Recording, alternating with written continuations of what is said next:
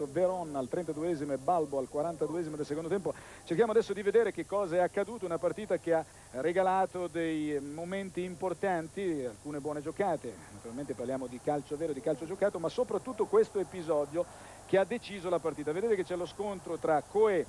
e Vanoli e poi c'è l'azione che prosegue, l'arbitro che non interviene, i giocatori dell'Inter che rimangono un pochino fermi e Veron che può sfoderare questo stupendo destro. È il gol che dà il vantaggio al Parma, ma attenzione a quello che succede perché ci sono le proteste veementi di Bergomi,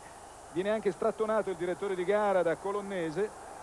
e Bergomi, Colonnese e poi anche Zanetti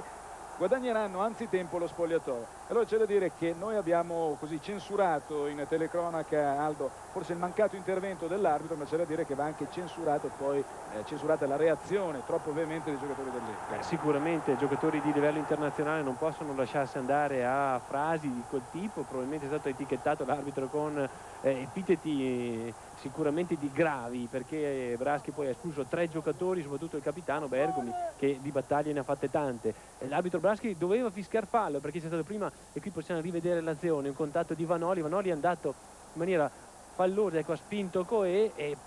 qui ci poteva stare il fallo, poi altro fallo di Coe, quindi l'arbitro qui doveva intervenire o in un senso o nell'altro. Il Parma poi in vantaggio di tre uomini ha anche conquistato il secondo gol grazie a questa bella azione Stanic Orlandini, il colpo di testa di Abel Balbo 2-0 dunque una partita che si è conclusa in malo modo per quanto riguarda la regolarità e lo spettacolo ma il Parma che ha conquistato una vittoria importante che le schiude le porte per la qualificazione dunque alla finale di questa manifestazione. Rivediamo ancora il bel gol di Balbo e naturalmente diviene abbastanza così improbabile una reazione dell'Inter nella gara di ritorno. Sì, dal, dalle espulsioni in poi